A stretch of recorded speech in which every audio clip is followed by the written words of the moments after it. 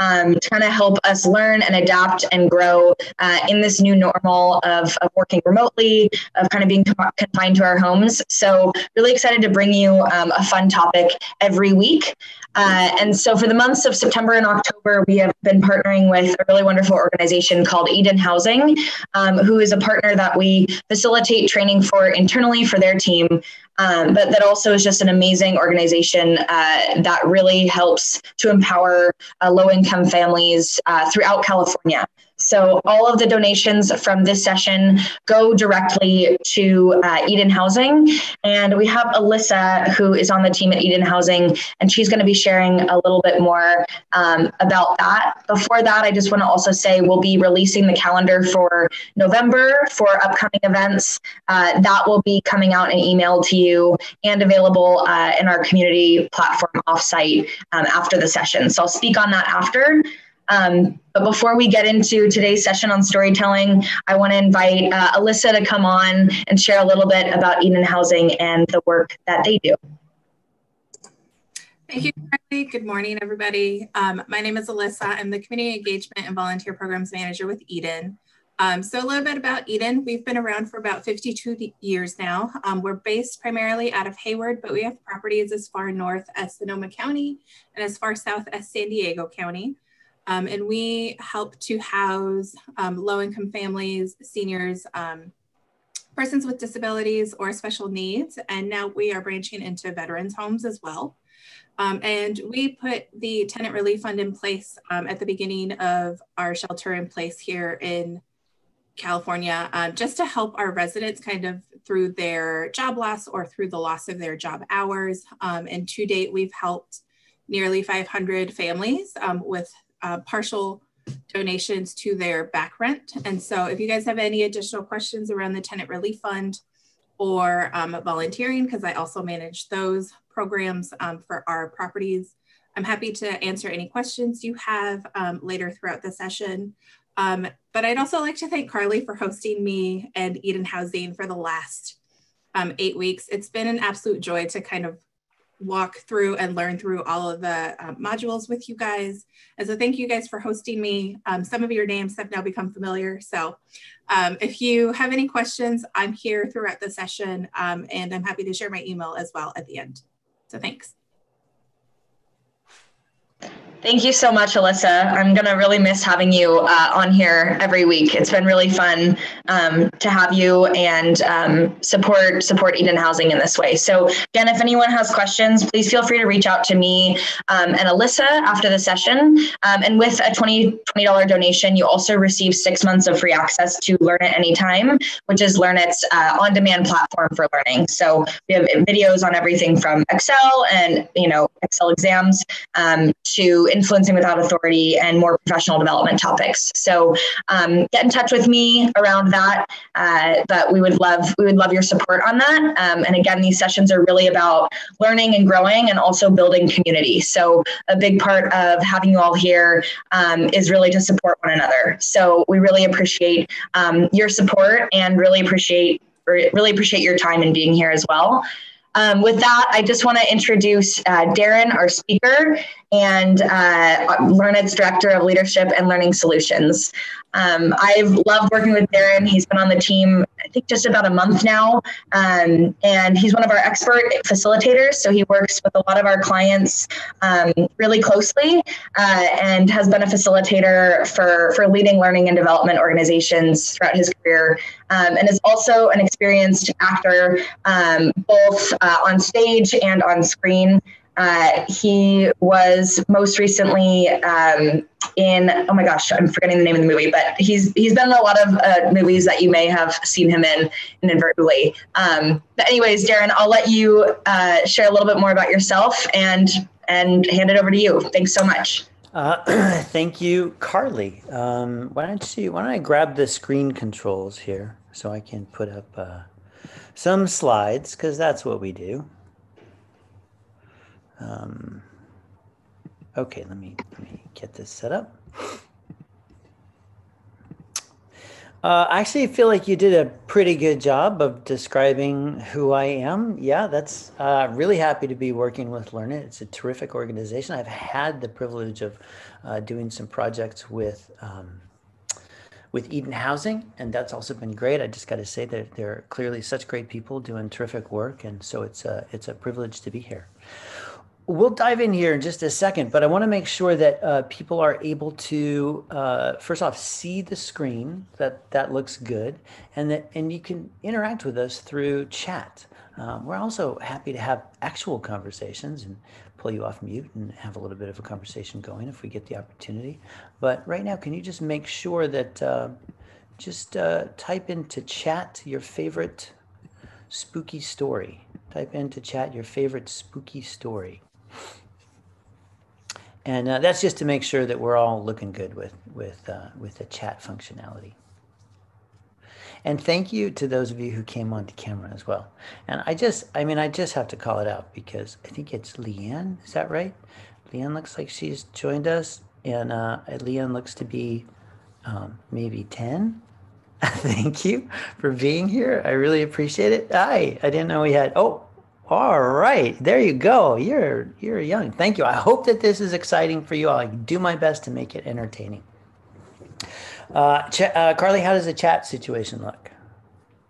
We're all good. Yeah, we're receiving chat, so I'll, I'll monitor that, Darren. Awesome. So as I go through this, if you have questions, type them into chat. Carly will track those. She might answer it right, away, or we'll stop and we'll check in. And we want to make sure that, that you walk out here today with real skills and tools and maybe just an, an upgraded understanding of how you can be applying storytelling out in the world. And with that, Halloween edition, right? I have to say my inclination was to show up with something Halloweeny. I actually wanted to like get fangs and a cape and do like a Bela Lugosi and do the whole thing like this, but I felt like uh, it was be too much, and plus I couldn't. Uh, my fangs didn't arrive. Further, I wanted to find a really good spooky business story that we could work on. Uh, sadly, the uh, the spooky business story situation well there's a lot of tragic stories out there and there's some pretty horrific stories out there when it comes to business but nothing really like a ghost story so uh, so i kind of had to let that go but we will be talking about stories through the lens of a business setting. And by the end, hopefully, you'll have these new tools that you can work on and you can apply them to Halloweeny business stories that you find on your own. So, why are stories so powerful? What is it about stories? Storytelling is a bit of a buzzword. Everyone wants to tell great stories, like Bill and Melinda Gates, or Oprah, uh, Jeff Bezos, Sheryl Sandberg, Richard Branson, Malala uh, Yousafzai, uh, Yousafzai, I think is how you say it.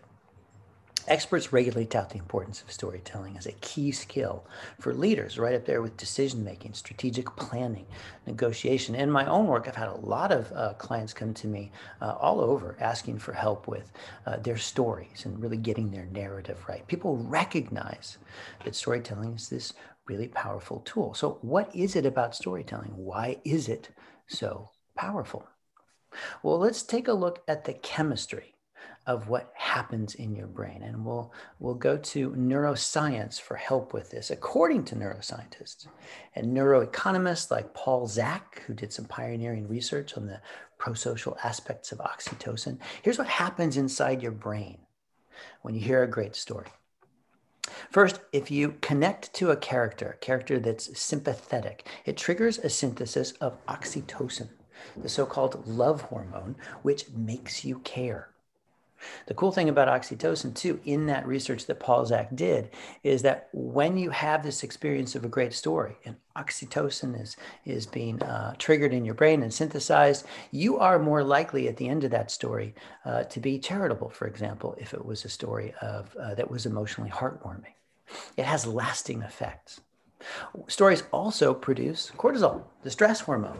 That's part of what keeps you engaged and excited on the edge of your, of your seat. A good story also uh, releases dopamine. A happy ending, this is the happy hormone right at the ending. If you feel warm and satisfied with the whole experience, which is kind of what we want to uh, lean towards when we're telling business stories, uh, that you end on a hopeful note and you carry that with you afterwards. All of this increases your uh, retention, your ability to remember the story, to have that emotional experience, and to uh, and to act afterward. Stories lead to action.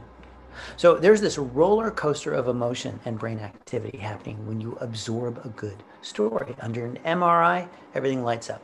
What goes on in your brain when you're just receiving info, data, facts, figures? Uh, crickets, not a whole lot. I mean, look, that's not entirely true. Certainly, your brain is, is, is having some activity when you absorb information, but it's not the same. So that's what neuroscience has to say. What do behavioral and cognitive scientists have to say? Even with 86 billion neurons, trillions of synapses firing in your brain every second, you still cannot process all of the information that you're receiving internally and externally from the world. There's just simply too much. Um, couple that with the fact that you have to remember uh, salient details that you pull out of the world and you have to take in all that information to be able to apply it as you move forward. It's too much. So your brain has come up with a very clever shorthand and that is stories. Stories are a simple tool for making sense of the world. They give things meaning and context. Stories are how we remember information. They help us make those decisions. They help us know what to care about they're how we pass on historical, cultural, family, personal information if that information really needs to be remembered and acted on. Here, so here's the point. If data is how we hold information, stories are how we give that information meaning. And all of us are made to process the world through stories. That's what it means to be a human, really. And let's demonstrate this with a quick little experiment. This experiment comes from uh, Daniel Kahneman and Amos Tversky, who are considered the uh, the uh, grandfathers of behavioral economics, all those cognitive biases that you hear about.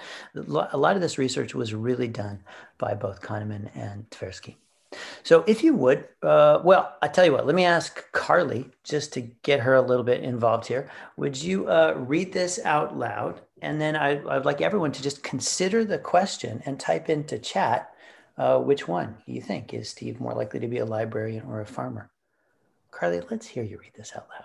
Absolutely. Steve is very shy and withdrawn, invariably helpful, but with little interest in people or the world of reality. A meek and tidy soul, he has a need for order and structure and a passion for detail. Is Steve more likely to be a librarian or a farmer? All right. Let's uh, let's see what our guesses look like. I know, honestly, I didn't even think about. We should have done a poll here. That makes a lot more sense. But uh, you're receiving all these chats. Everybody's seen them. Hopefully, uh, Carly, I know that you're a math whiz. Can you give me a quick total on the precise uh, the precise percentage for each?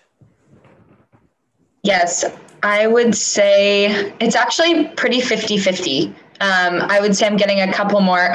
One person says a data analyst, but um, I would say it's actually probably about 60% farmer, 40% librarian. Awesome.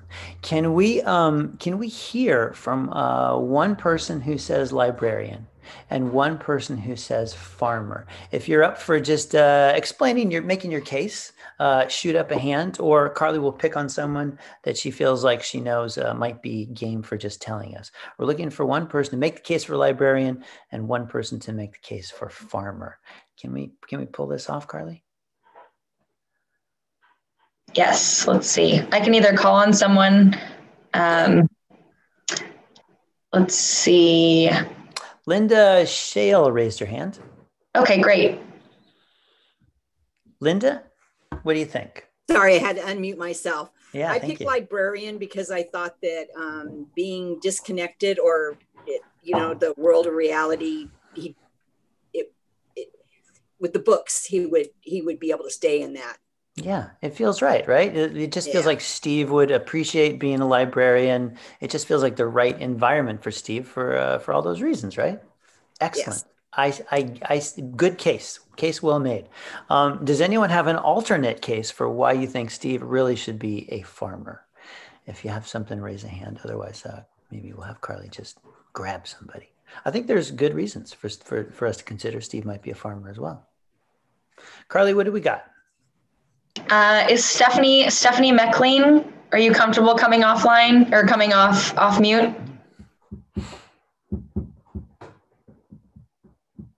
Stephanie said farmer. Farmer, yeah.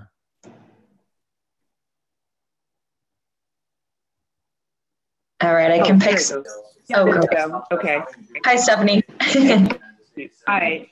Um, just because all the librarians that I know are very, very interested in people and have to be in order to help someone. They actually love interacting with people, help them find the either um, the book they need for reference or just for the love of reading. So Stephanie, that's why I thank you. That's like uh, some expert insight right there. Um, much appreciated. Much appreciated. Maybe our our uh, stories about uh, librarians are actually off in the first place.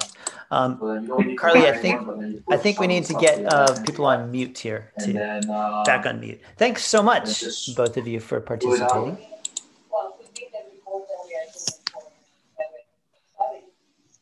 So, can everybody hear me right now? Yeah, yeah. Yep. Push, push that to the. But uh, we still have a couple of people if you yeah okay good now we're good. All right thank you for playing along with this little uh, activity right here. Here is the uh, story about behind this. Logic pure logic logic would always give you just one answer every single time. If you if you fed this into a machine and you said which one is steve? the machine would always say farmer every single time and that is because there are five times more farmers. Well, that's in the US than there are anywhere else, but I believe there's probably more farmers all over the world than there are librarians. It's it's it's sort of an open and shut case in terms of just pure logic. But that's not how we work. We pick up on a story immediately. Um, uh, uh, what feels like Steve. That's what motivates us. So whether you're looking at Steve to be a farmer or a librarian, the case always comes down to um, behavior, to the story. What we're looking for is story logic, not logic logic, and we're made to look for that right away. So, uh, so that's the the big idea here. We're looking at a couple of things that make stories so powerful. It's an emotional journey, and we are hardwired to look for stories because that's how we hold meaning. So, if all that's true, then uh, what is the key to telling a great story? Uh, what we're going to look at is some principles and tools for creating good stories. Then we're going to circle back to business stories. But if you if you had to boil everything down into just like one key thing, what makes a great story? Uh, here's what it is. It's the ability to transport your listeners. Poets, writers, dramatists, screenwriters, psycholinguists all refer to this as being transported into a story. And you know that feeling when you feel lost in a story. You sort of lose track of, of anything else that's going on around you, and your imagination is activated, and you see the story unfold. Maybe not literally like pictures, but, but you have that feeling of seeing it happen before you that's when you're immersed in the story. And here's the key thing the degree to which your, your story transports your listeners is the degree to which your story is successful. The more transported, the better. And uh, in a business story, that's certainly what you're looking to try to create. Now, in order to get people transported into your story, we have a big hurdle to overcome, and that is their attention. There's so many demands on all of our attention every day. There's products and things and people all trying to get you to focus on them. And we have pretty short attention spans. In fact, uh, the average person today in, in just any sort of industrialized society is bombarded by 6,000 to 10,000 ads per day. We're checking on average our phone screens, this not having a call, but the screens two to three hours a day. It's 300 phone checks, like average, but it can be up to 800 times you're checking your phone and you're you're scanning through things and moving on to something new every 10 to 20 seconds. So grabbing someone's attention and holding it is a, is a key uh, hurdle that you have to get over if you're going to tell that great story story that's going to transport people in and and keep them engaged for more than 10 seconds. And when you do that, what you're looking for once you get their attention is to take them on a journey. That's what we're really looking for here. Here's two things that you want to have to take people on a great journey, and that is uh, great characters really interesting characters. Uh, research shows that character driven stories with emotional content result in better understanding of key points that a speaker wishes to make, and it enables better recall later on. That again comes from research by Paul Zak that you can find in a great article called Why Your Brain Loves Good Storytelling. Um, it wants to be that that character you you also want to have essentially one character that really draws you in, somebody you can empathize with. It doesn't mean that they do everything perfect, but it's somebody that, that draws you in. It's, it's sort of a sad but true thing that stories about millions of people um, tend not to be as compelling as a story about a single person even though the, arguably the tragedy is obviously so much worse. So you're looking for those stories where you can grab a hold of a person. Now, it is possible to have a story that can be not about a person, but about a business, uh, a company, a product, or a thing.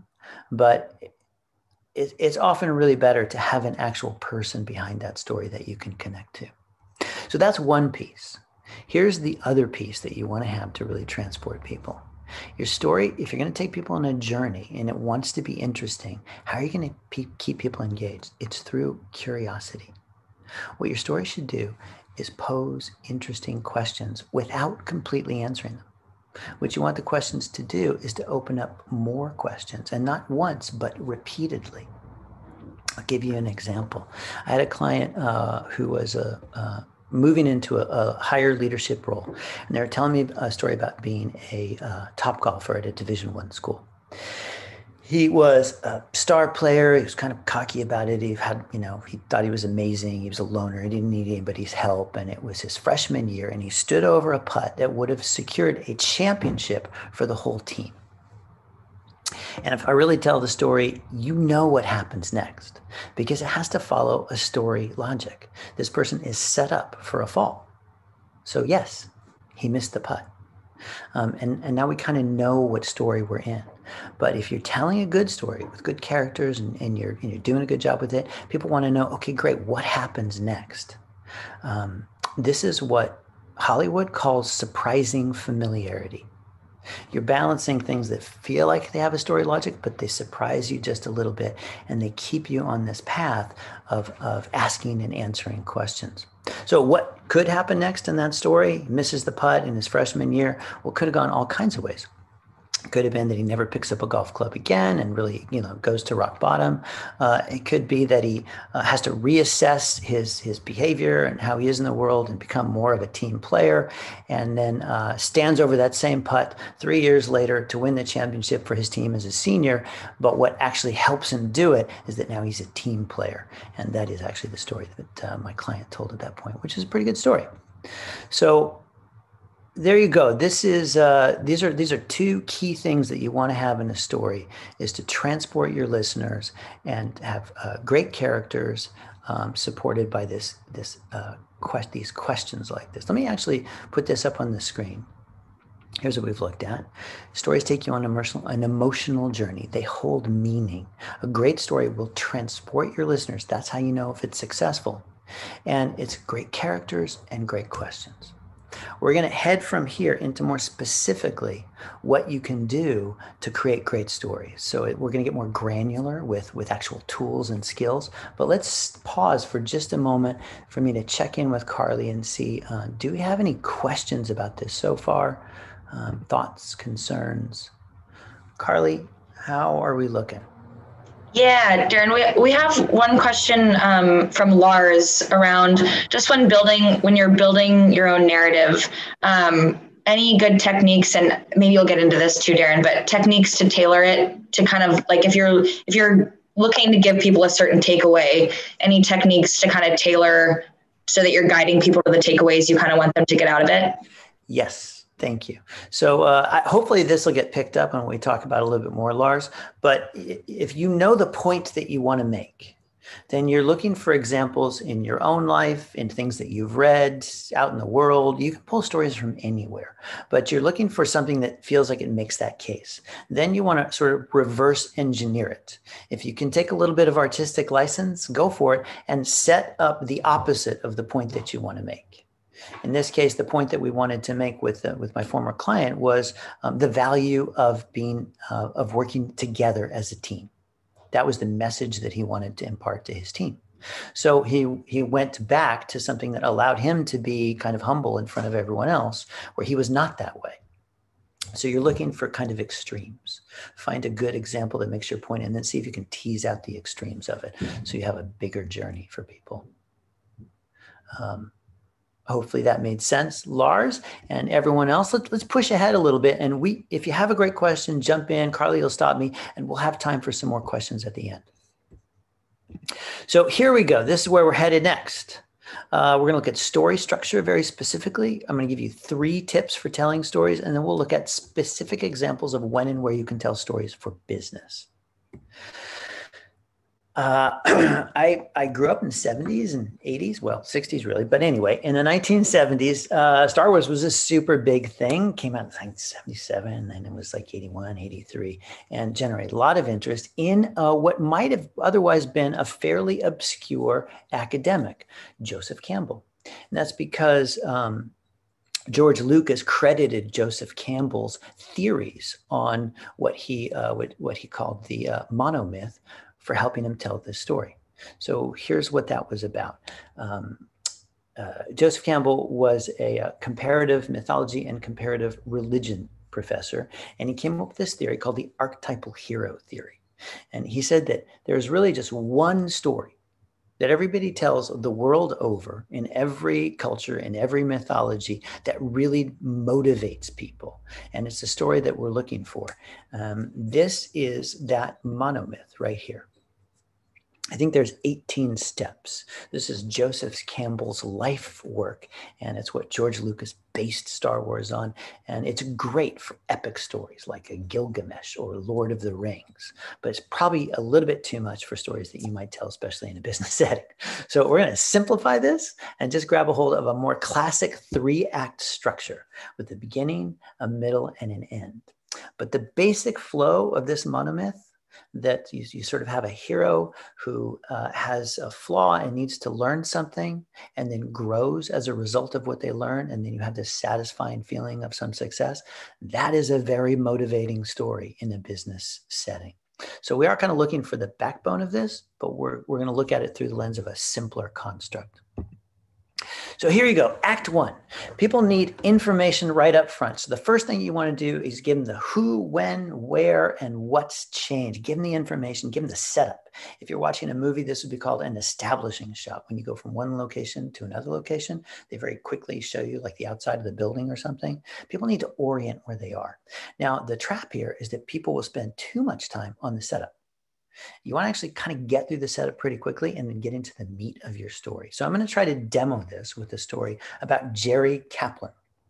By the way, I'm going to credit this story to uh, Chip and Dan Heath. I found it in their really excellent book on communication called Made to Stick. So here's my version of this story.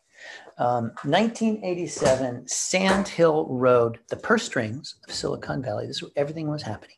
29 year old Jerry Kaplan sat in the lobby of Kleiner Perkins. Kleiner Perkins is the most storied VC firm in the Valley, and he had a great idea for a new type of computer that was more like a book than a typewriter. They used a pen not a mouse. And it was at that moment that he sat in that office with his great idea that he realized he had made a huge mistake. That's the setup. That's as much, as much information as you basically need. There's a little bit of a hook in there to sort of draw you in with that question of like, what do you mean you made a huge mistake? What happened next? That's act one. I want to try to keep that a little bit on the shorter side. Act two, rising action. This is where everything happens. And uh, the, the key here is that as you build tension and, and it sort of rises to a climax what's actually happening for your hero is that their fortunes are declining. Everything's getting worse for them uh, this is the main part of your story. And this is where business stories tend to falter because, uh, and I think it's because most of us in a business situation don't want to really introduce uh, suggestions about our company not looking good or me not looking good. It's we want to sort of paint a nice picture. But here's the problem if you tell a story that's all roses and sunshine and everything's great, nobody cares. Stories need conflict. So you have to find a way to introduce conflict that's going to draw people in and make them care. So back to Jerry. What was Jerry's giant mistake? Well, here's the thing Jerry thought this was just going to be a simple get to know you sort of conversation. He walked in, he was wearing jeans, he had a polo shirt on, uh, topsiders, no socks, and he had nothing more in his hand but a leather maroon folder with a blank sheet with a blank uh, notepad inside, not even written on it. Next to him sat 80s, 80s, 80s guy. Had a power suit, had a power tie, pinstripe, like Wall Street red. His hair was perfect. His teeth were perfect. You know, like a like a like a, a talk show host.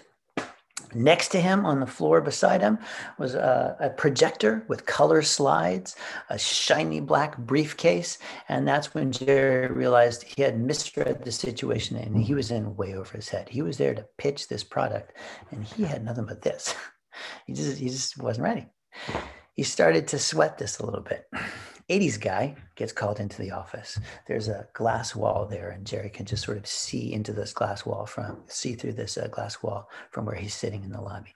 80s guy strides in. He's super confident, and he sets up his projector. He's doing his color slides. His teeth are flashing. His hair is perfect, and he's just like killing it. Right. Jerry's getting more and more nervous as he's watching the clock and thinking about when it's going to be his turn. And then it gets even worse he notices through that room that the executives on the other end of this conference table start hammering 80s guy with tough questions. He can see this is what's happening. 80s guy is getting more and more dejected and more and more heated. And you almost see him starting to turn red as he's trying to justify his, his idea. His hair starts to get out of place. And uh, Jerry's watching this and feeling like even more anxious that this guy that was so prepared uh, was just getting hammered and he didn't have anything to show up with. A little while later, 80s guy is ushered out of the room. He walks by dejectedly, dragging his copier along with him in his briefcase. Jerry sits there in silence for a few moments and is invited into the room for his turn. He walks in, he looks at the faces around him. They're not amused, they're not really particularly happy. Jerry starts in. he talks about this idea that he has for this computer and, and what it would be like, and the whole idea that you could that you could walk around with this thing and uh, and and you wouldn't need to be tethered to your desk. You could do things like answer emails and interact with the world wherever you go, and use a pen, which would be way more natural than actually typing things in. And he talks about the technical challenges of how you'd actually make this so it could recognize handwriting and everything. And as he's looking at the faces, uh, he's really it's just no expression and, and he's just sure that this is getting worse and worse and worse. Finally, at his lowest moment, he'd kind of gone through this. He thinks at any moment they're just going to kick him out of the room. He has an inspiration, has a flash of an idea, and he kind of gets that place where it's like, screw it. And he, he grabs the folder, the, just a leather folder with nothing in it. And he says, if I had walked in here with a PC, you sure as hell would know it. Which you may not realize is that I have the future of computing in my hand right here. Ladies and gentlemen, welcome to the next revolution in computers. And he slammed it on the table. That's Act Two. Rising action right to that climax moment. And now you're on to Act Three this is where everything resolves. And again, the kind of stories that we want to look for, this is when uh, ideally it resolves to something that's positive, but you need to set it up so it's tough for this person. So, what happened? In that silence that seemed like it lasted forever, it's probably only a few seconds, but in Jerry's head, feeling the sweat, it probably felt like 30 seconds longer. Finally, Brooks Byers, who's one of the younger partners in the firm, Kleiner Perkins, reaches over. He grabs the folder and slides it toward him, towards him. Kind of looks at it, picks it up and looks at it and says, um, How much info could you store on this? John Doerr, who's sitting next to him, says, "You know, you, you, don't need to worry about that. Moore's law. It's getting cheaper, and and and everything's getting smaller. We don't have to uh, even think of it." And then Vinod Khosla, I think is how you say his name. He became the CEO of Sun Microsystems after this little while. He talks to John, and he says, "Yeah, but bear in mind, handwriting technology. That's a big deal." Before Jerry knows it, it's almost like he's not in the room. They keep discussing his idea, and they keep doing it with this in their hands they're passing around this thing that is not like any sort of prototype, certainly not what 80s guy would have walked in with. They're passing it around. At that point, Jerry realized this is actually going great. A couple of days later, they called him up and they decided to back his project and they valued his non existent company at $4.5 million. It became Go Computers, but uh, which did great. And a lot of that technology that was developed then is still in use in tablets today. So there you go three act structure. spend that time in the middle, introduce some conflict, and uh, have it resolve into something that feels hopeful. That's a great business story. Let's look at uh, three tips around it, and then I'll have a quick check in with Carly, and then we'll look at specific business situations where you might use this. So here's the, the, the, three tips. The first one, oh, I forgot to uh, say that. Yeah, best is when it involves growth for the hero. You want ideally, somebody has to overcome something. So in the case of Jerry Kaplan, he needed to really step into the shoes of someone who could pitch an idea, not just come up with a great idea. He needed to, to step up to that moment. Okay, here is your tips. Man bites dog. You look for something to flip the script, to just um, make an impact that people are not expecting. You want to try to surprise them. I read a story once about a sales trainer in the 90s who was who would start all of his uh, trainings by saying, "Hello, I'm Joe Smith, and these are not my pants." Uh, evidently, what happened is that he had lost his pants, and one of the hotel clerks had lent him a pair of his pants. But it's a surprising way to start. You want to find those moments of surprise, and you want to look for them throughout your story. It doesn't need to be just in the beginning, but you want those moments that get people thinking, "Huh, that like what happened next." Suspense. We've been talking about this a little bit already in terms of the questions and posing those questions and answering them. That what happens next feeling. Well, here's a little trick that you can use use time to create that sense of urgency. Um, for Jerry Kaplan, he's sitting there and you know that he's going to have to go into that office and time is slowly clicking away and he's getting more and more anxious. You can use time to create suspense. You can also withhold information. Set up an idea, but don't give people the answer just yet. Stretch out that tension. Tension is super important for getting people interested in your story. And then the last one, and we kind of talked about this a little bit already, is emotion. Uh, here's a framework that actually comes from another book I will recommend called Sell with a Story by Paul Smith. And these are three different ways that you can add emotion into your story. One, you can just tell somebody what the emotion was. You could say, for example, uh, Jerry just felt super nervous at that point and really anxious. You can show people what the emotion was. So that would be describing the sweat that's coming down uh, Jerry's face and, and, and uh, describing what it is instead of actually naming the emotion. And then the final one is to just make people feel it. And I'll give you an example that comes from Ernest Hemingway. Some of you may have heard of this before. It's it's become a thing called six word stories.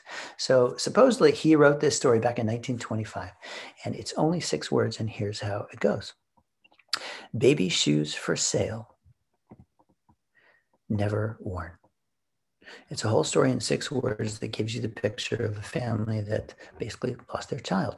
And if a story, if even in six words, you can get people to feel something rather than just say the say the words, that's a that's a powerful way to grab people on that emotional level. So I, I, next up, I have some recommendations for where and when you could tell a business story. But let me just check in uh, first with you really quickly, Carly. Is there anything we should address um, I know we're coming up on questions pretty soon, so you you tell me. Yeah, I think we could um, kind of embed a good question from Stephen. Um, he he's asking a little bit around how do you effectively communicate a story if your command um, over the audience is maybe not as, or he used the example of the Star Wars example of um, if your command over the lexicon is not as great as your audience. So if you're talking to um, maybe a foreign audience or someone that speaks a different language as you, where there might be communication kind of barriers to begin with. Yeah, yeah, that's a really good one. So, so first off, you have to be really sensitive to the audience that you're talking to. For example, the story uh, about the golf guy. You don't want to tell a, a, sports story in a lot of situations. That that it depends on on the situation. Uh, making references to something like Star Wars can be super problematic because some people might not know it. But in that case, if you can find uh, just a general story about anybody that others could relate to, this is the story of, of Betty who worked at a, at uh, Eden Housing and you know was really dedicated to trying to do great work for people. Here's the kind of work that they did. And then you could describe what the challenges that she was facing in her own life. You can set up a scenario that people can relate to and you do want to default to that. When you're working with people that have uh, if there's some sort of language barrier then you want to do the same thing you kind of always want to do which is default to simple uh, more simple language. Uh, you, you use, if there's a choice between two words and one is more complicated, use the easier to understand one always. And just slow down your delivery. Just slow down your delivery. Give, give people time to process what you're saying. Let me jump into these business story situations because this is kind of where everything's pointing to, right? And I, I do I do feel like it's important to bring this up because often I see people think that the only place they can tell a story is a customer story, and it's usually just a customer success story. But you could tell other customer stories. You could tell a cautionary customer story. You could tell a customer story that's really about here's someone that was very similar to you, and here's how things went. There's there's more opportunities when it comes to customer stories than just the here's a here's a great success.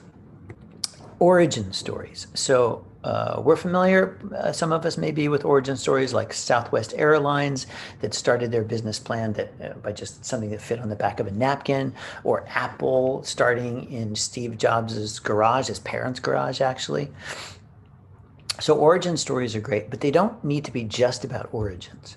Uh, you can create a story from any place in the company culture, and stories want to upgrade based on the situation. They're not set in stone. Those stories about your organization.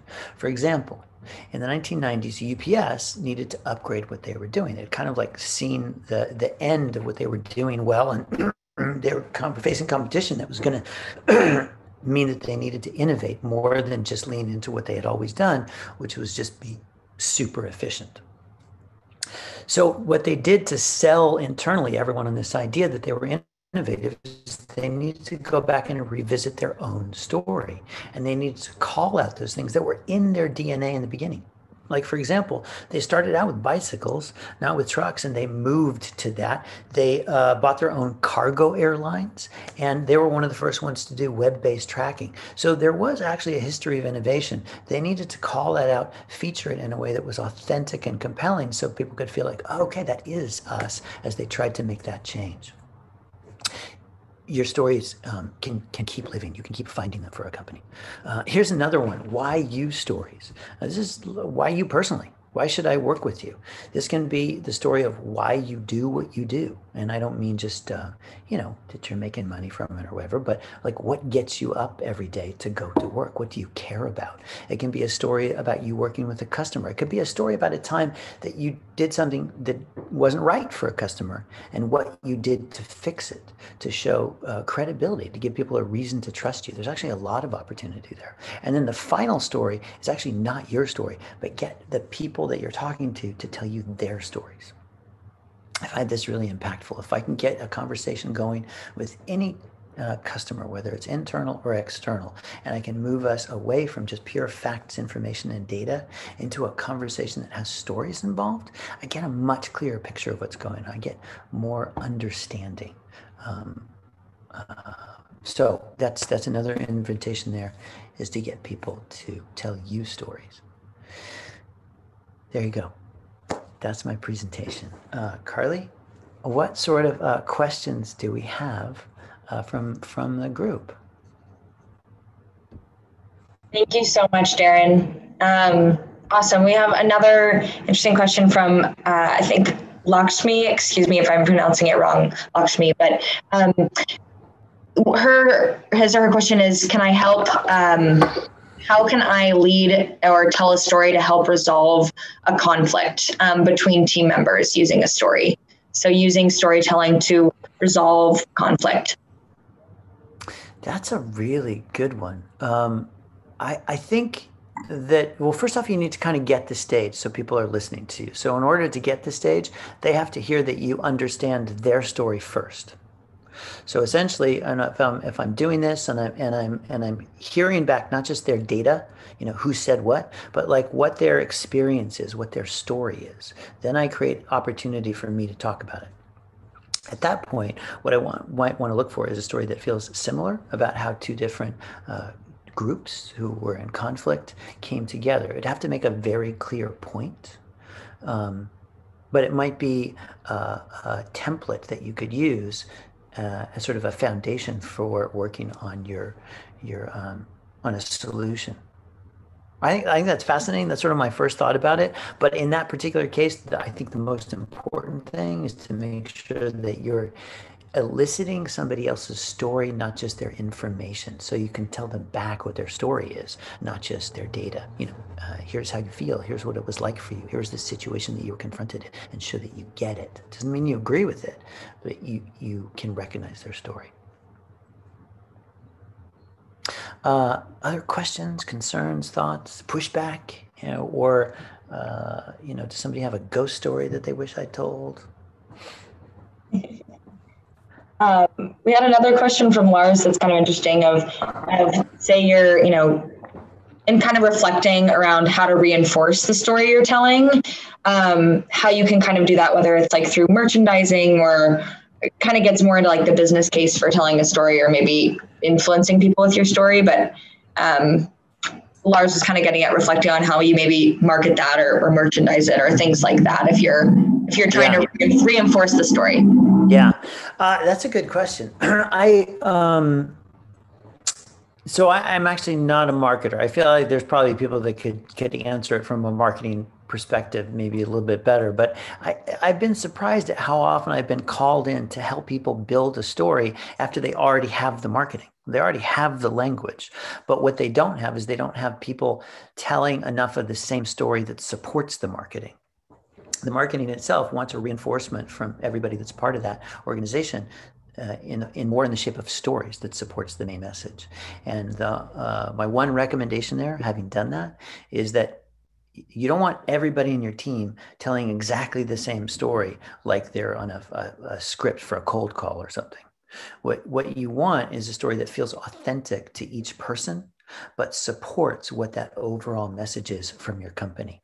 Um, then, of course, from a marketing perspective, you just want to make that everything, every you want to make sure that everything feels like it's supporting um, a message. I hope I did okay there. Um, other thoughts, questions, concerns? Thank you. Um, this is an interesting one, more around um, kind of storytelling in a home setting. How do you cal- calibrate a story to communicate the message to children um, with parents? So with parents in the audience. So how do you communicate stories as a parent?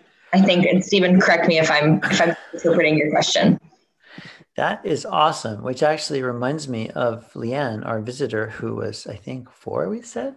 I don't know if she stayed with us, but I'd be so curious to hear if she like followed um, any of it, what she thought. Um, I, I, mean, I, it, it, anytime that you have an audience that's mixed, uh, which we often find ourselves in. I need to convey a message to a large group. They come from different departments. They have really different concerns, or maybe it's in some other external situation. I need to tell a story that includes a little bit of everybody.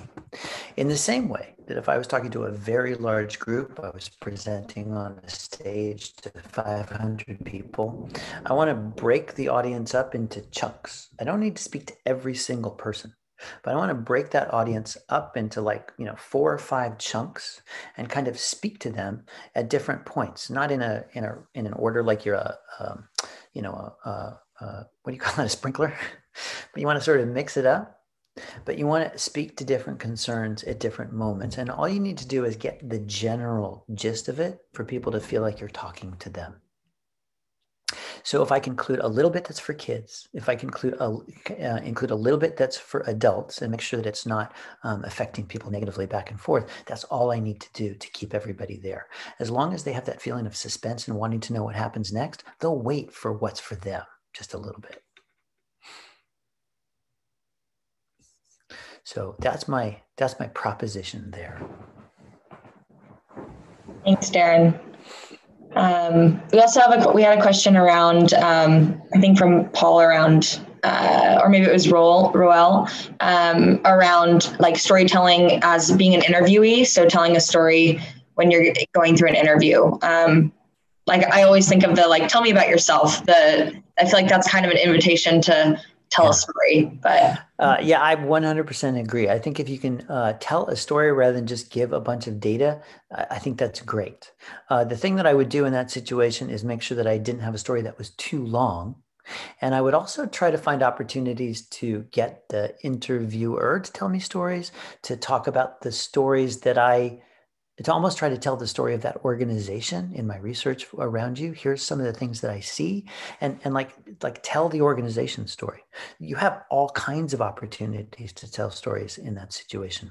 Um, here's the other thing that I see often about people in business setting when they're telling stories is that they feel pressure to be fast because they don't want to take too much time with the story.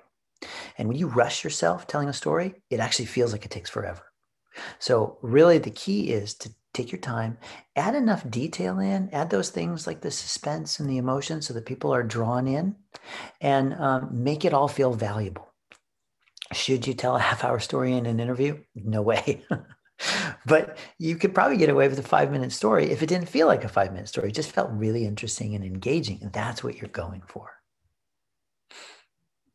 Um, yeah, don't leave the important bits out to try to make it short. If you just, well, I'll just only keep the data and the info in, your story's not going to be good. You got to get the emotion, the suspense, um, those, the color. You need to paint a picture for people. And last thing, you can go too far. I actually really risk going too far with painting the picture of a 80s guy. I put in a lot of details. You don't really need, need to do that. You could have just said like a, like a couple of details, a black shiny briefcase and a big giant hair. Um, you know, that, that would have been enough. Um, if you do too much, you rob people of using their own imagination. Other thoughts? Thank you, Darren. Uh, we had a request for you to tell a Halloween story. Um, so if you have any kind of fun thing to close with Halloween, we can do that. Um, okay, so I don't have a Halloween story, but here's what I think we could do uh, with just like we. I know we have a, a video to show. Do we have like two minutes, Carly? We do, yeah. I would say we have about two minutes. All right, great. So here's what I propose that we do. We will have a bad joke competition. And the, the winner is the one who can tell a Halloween joke. So you get bonus points for a Halloween joke. I'll start, I'll tell one, and then we'll see who has a joke. Now, notice right now what I'm doing is I'm giving everyone time to Google search a bad joke. The only rule with the bad joke is it can't be me. So here's my super dumb bad joke. I'm setting the bar super low. What has two knees and swims in the ocean? I'll tell you what, to make it uh, Halloweeny, I'll do it with my vampire accent. So, what has two knees and swims in the ocean? Do you want to know? I'll tell you. A tunny fish. That's right, a tunny fish. Tunny swims in the ocean, a tunny fish. I set the bar super low. Uh, Carly, do we have any volunteers who could tell a dumb joke and bonus points for if it's a Halloween joke? And if we need to call on somebody, I'm sure we could call on Marissa, uh, who I, I believe is probably Googling jokes right now, but who has a good joke? We have about a minute, 30 seconds left. Let's see. Uh, Luvia has when she says she has a pizza joke, but it's kind of cheesy. So, uh, is that the whole joke right there, or is there more? Luvia, if you want to come off mute, you can. No, that was it. that was the joke. Yeah, that was good. I like that. That's a good. It's a perfect joke for a chat too because it's not too long. Marissa, we're giving you tons of time to research a bad I, joke I online. I don't even need to research. This is sad. I'm full of bad jokes. All right, uh, good. Let's hear it. Why couldn't COVID go to the bar? Why? Because COVID was 19. Stupid. All right, good. I think that's uh, that feels like a, like a pretty good capper to me, Carly. What do you think? I think I think that sounds great. Um, thanks, thanks Marissa. making some light of our of our current current situation.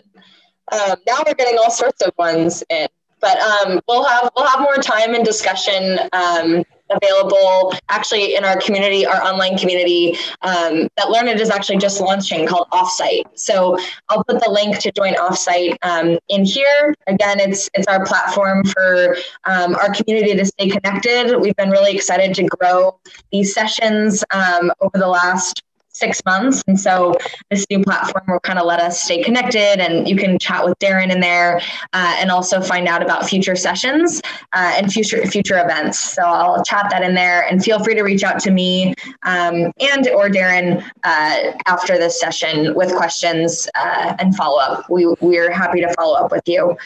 Um, and with that, I am going to share my screen and my sound.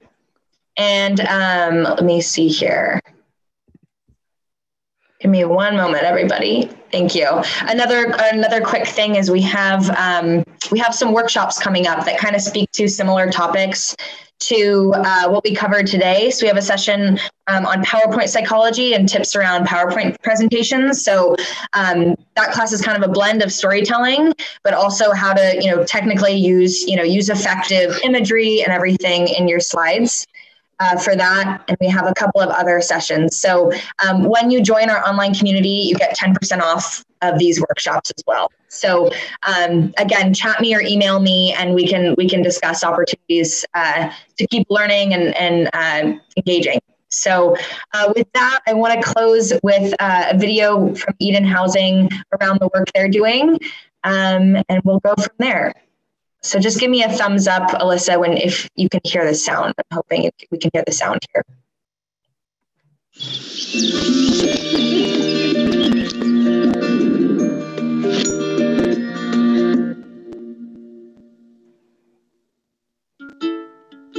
We're about a place that welcomes people from all walks of life, all economic backgrounds. For the people that are disenfranchised or lower income or somehow disadvantaged in our society, we must make allowance for them. And I think at Eden, we really take that very seriously.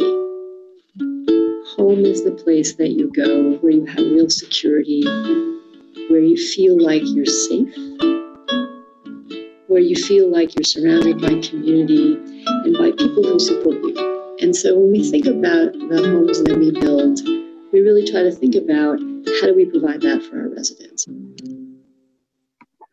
Very easy to place where your kids can walk to school safely. What does it mean to have a home? We're living in a time where it's very easy to talk about people in ways that polarize us. But I believe, and I think all of us at Eden believe, that it starts with where you live, where you're born can change your outcomes. I think that we have a role in leading a different dialogue. And you do that by telling the story of the people that we work with and the communities that we've changed.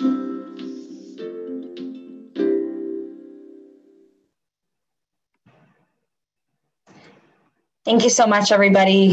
Um, Alyssa and I will be around for the last two minutes uh, to, if you have any questions around Eden Housing, um, I'll also put the, the link for donation uh, in the chat as well. Um, but thank you so much to everyone for being here. And thank you, Darren, for a really, really engaging session. Um, I really enjoyed today. So thank you so much. Thanks, everybody.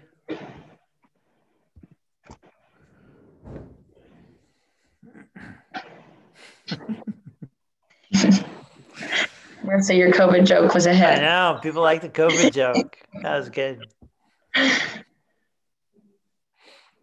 And also, the recording of this session will be available in offsite as well. Um, and you can also find it on our YouTube channel. So if you want to go back to the session and refer to it, um, also for people that maybe missed a little bit, logged on late, that'll be available in offsite and on YouTube.